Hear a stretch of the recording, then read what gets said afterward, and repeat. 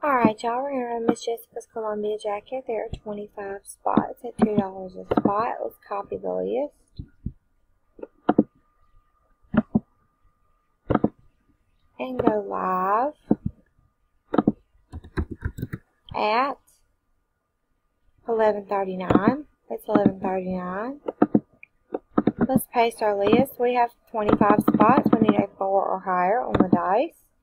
We have an 8. Here we go for the first time at 11.39. After the first time, there are 25 items on the list. Dorothy's on top, the toy is on bottom, Dice calls for an 8. Here we go, still at 11.39.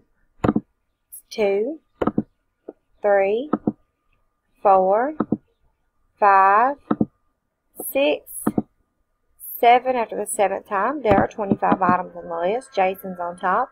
Misty's on bottom. We've randomized seven times. Dice calls for an eight. Here we go for the last time at 1140. Good luck, y'all. Alright, after the last time, spot number five, Dorothy Ponder, you are the winner. Congratulations. There were 25 items on the list, and we randomized eight times. The dice, two fours, did call for an eight. We are done at 1140. It's 1140. Congratulations to spot number five, Dorothy Ponder.